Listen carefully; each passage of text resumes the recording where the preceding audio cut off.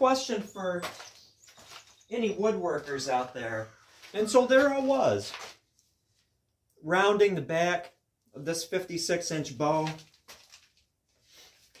Kind of a prototype in a way, kind of a familiar design.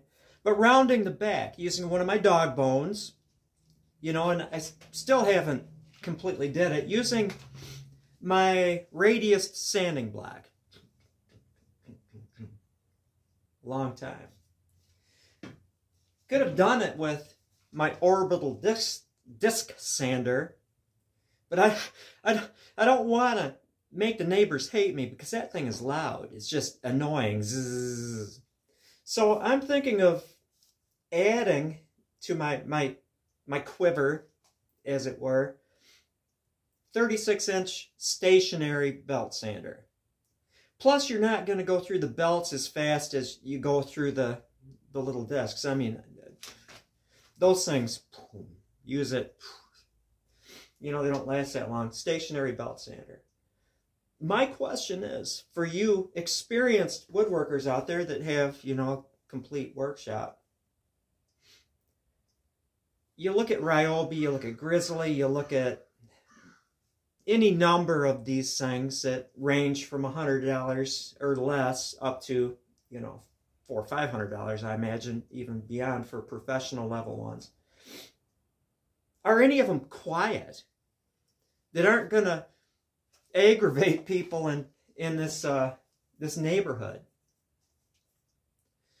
And also, I've got a friend, Warpath, G at Warpath Archery. He has a Ryobi and he's been using it for over 10 years and it's still running strong. I mean, I'm a DeWalt, Milwaukee, Bosch kind of a guy. You know, I'm a tool snob. And Ryobi, I think my wife bought a rechargeable drill, screwdriver kind of thing. You know, just, just you don't need to plug it in. Where mine is a, a corded Milwaukee, which is good. Jump a little bit. I wound up buying a bigger one, a hammer drill,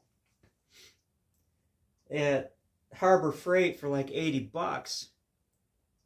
And even using little bits, that thing smells like it's burning. It's, you know, it's cheap, but I wasn't impressed with the quality.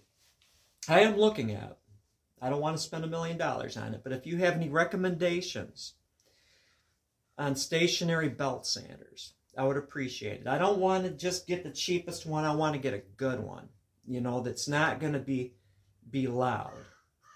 Do I have any experience with a stationary belt sander? I do not. I've seen them. That's about it. Never used one. But I can picture, you know, as I'm doing these things, and it's careful. It would be easy to screw them up. I could round the backs on these things so much quicker. I could tiller so much quicker. Now, my stave-made bows, more traditional. You know, draw knife, Farrier's Rasp and stuff, but on board bows, all's fair in love and board bows. You know what I mean, Jelly Bean? So, yeah, that's about it. Gonna blow through this.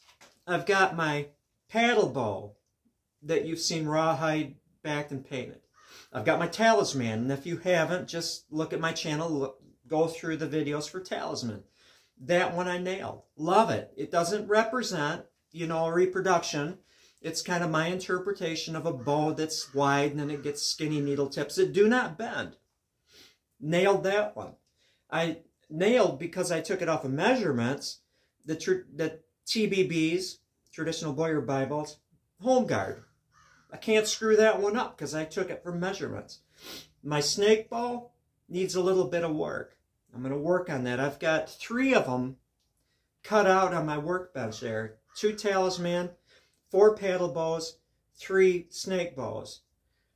Uh, this one, I like it. The last time I did these things, it was for a camp. Boys and girls summer camp. And so I did 25 of them, roughed them out, and then the kids, I showed them how to sand and tiller and all that stuff, how to shoot them, how to care them, take care of them. Brought tallow so they could rub it in over, you know, heat. But I did them up to 64 inches. It depended on the wood, anywhere from 58, I believe, to 64 inches, bunch of them, you know, different lengths and stuff like that. I need to refine it, need to master it. The little horse bow. I consider this one nailed. This one is finished in its development. Now I just gotta finish the other five of them. But yeah, that's about it. Stationary belt sander. That's the question of the day.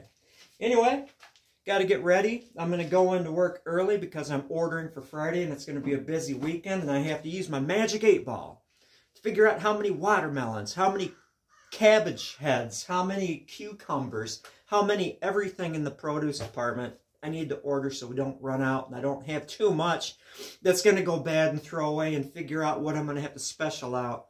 Gotta say that I have been somewhat negative in my approach in my day job. in many ways, it doesn't interest me, but in other ways, I could see. If you're planning on being a produce manager, which that's what I am right now, there is a certain amount of fascination in it because you have to figure out what do you have to buy to make sure you have enough because they're perishable. You know, it can be somewhat terrifying at times, you know, when you've got a full cooler and it's like, oh my gosh, I'm not going to get rid of this stuff. I overbought. What do I do to get rid of it without having a huge loss? And how do I... It's strategic. And, and so if you look at it positively, it's kind of interesting. It's like a big game of Battleship. But yeah, I am done talking. I'm done talking. Thank you for listening. Oh, and Estelle, you know, as far as I explained it in the comment, but I was talking about how do you join two pieces of wood to create a bow. I almost don't even need a glue joint with those horse bows because they would be sinew backed and uh, Picture this. Picture this. You've got your joint in the center, right? Even if it's just a V, a V splice. Stick them together. It's sinew back, so it's not going to buckle. The sinew will take up the strength. And also, when I do these things, I'll have a center wrap, and I always have a wrap right here because the sinew goes down over the handle, and you want to stabilize that so it's not going to shrink and pull away. And so basically the sinew would hold the thing together.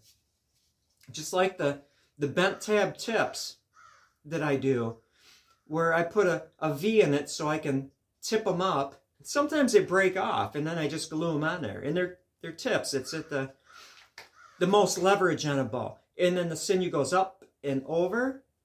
You wrap it. And the sinew takes up the, the brunt of the stress on that. And so it's it would be the same way with that V-slit. It'd be a different matter if it was a self bow, but it taint. Sinew backed.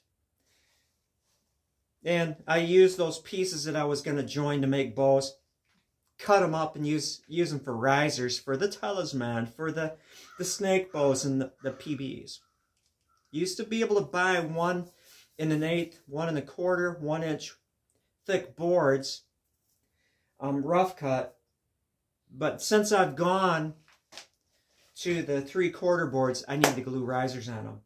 Typically, I take the board and I cut the end off and then just take that and put it there so it matches grain. But these boards were nominally length, so I have to use a separate piece of oak and then cut them and then glue them on there for risers.